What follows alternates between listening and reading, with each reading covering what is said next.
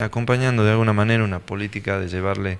no esperar que vengan las problemáticas, sino ir a buscar cuál es la situación de la gente y que sepan que en la Defensoría tienen una voz donde canalizar sus problemas. En ese sentido, tenemos un pedido muy importante de un grupo de padres respecto a una situación de escolaridad, pero no es solamente el único motivo por el que vamos, estamos yendo de las 10 de la mañana a la calle Macedonio Gras número 8,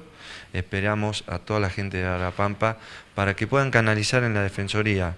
todas las inquietudes de problemas de familia, de alcoholismo, de este, discapacidad y todo tipo de problemas, ya que vamos con todo el cuerpo de profesionales del Gabinete Psicosocial de la Defensoría de Jujuy, más abogados que refuerzan a la defensora del pueblo de Abrapampa que tenemos delegación allá. Entonces es intención de hacer una jornada desde las 10 de la mañana con todo el gabinete de la Defensoría, este, abarcando y escuchando las problemáticas de toda la gente este, y poder fortalecer la presencia de la delegación en el lugar. Es la idea de la Defensoría de que se conozca a través de sus delegados. Vale decir, es muy importante tener un abogado, que la gente sepa que tiene consultas y posibilidades de acceder a un abogado en su localidad.